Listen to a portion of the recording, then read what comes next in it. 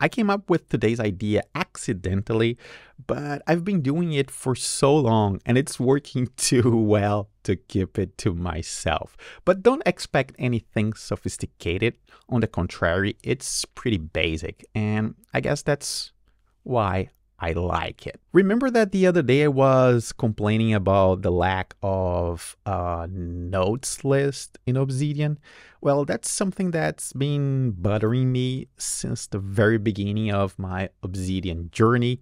Uh, some of you even suggested the file tree alternative plugin. It's a good plugin, but it's not exactly what I was looking for. It, it didn't work for me. So I'm still doing what I was doing, uh, what I have been doing for for a while now, and that's what inspired me to create this this new workflow. Here, let me show you. Before I start, just a quick message for those of you arriving now.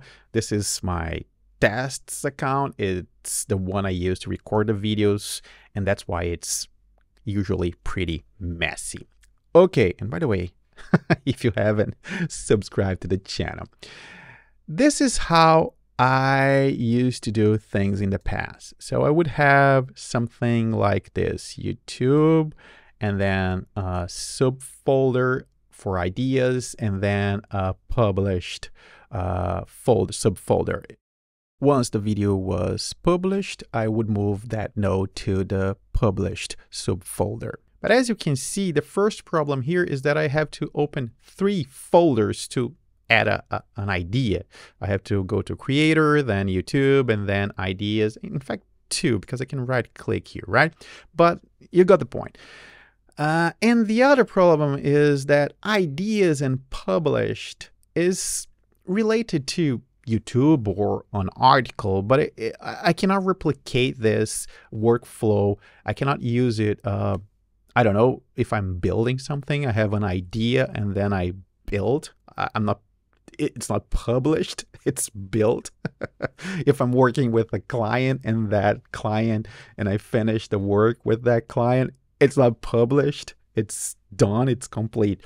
So, so like I said, everything started when I began looking for better ways to organize my lists. And let's use the blog here as an example.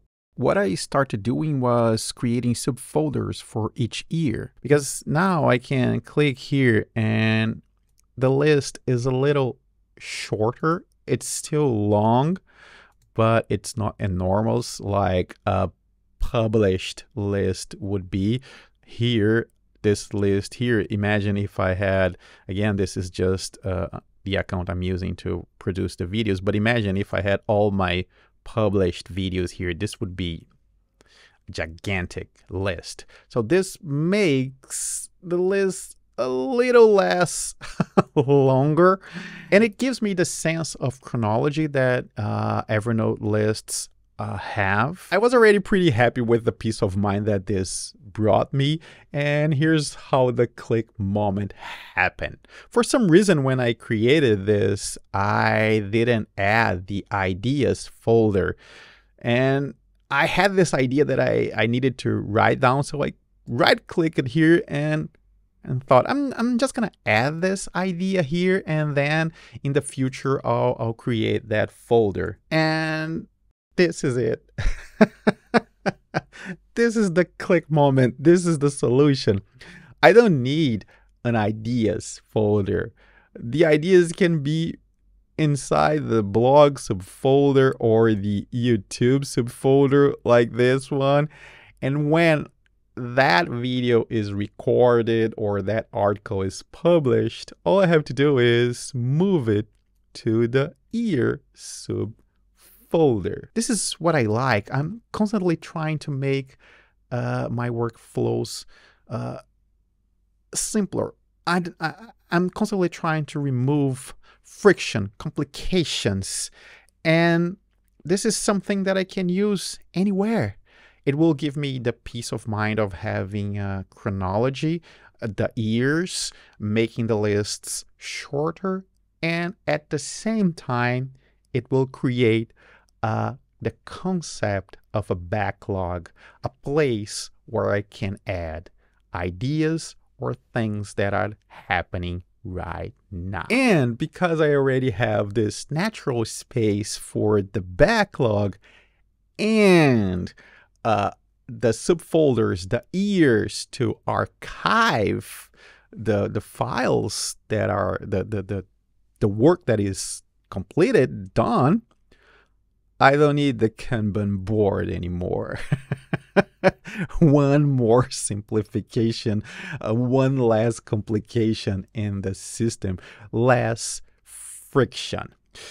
Well, I told you it was basic, but I would love to know what you think, and I hope it inspires you. Maybe you're you're not using something like this, but maybe that will inspire you to create your own workflow in a way that works uh, better for you. If this was helpful, I'd appreciate a thumbs up. And if you want to help even more, please consider joining my Patreon, becoming a YouTube member, or buying me a coffee. I love coffee. Thanks for watching. See you soon.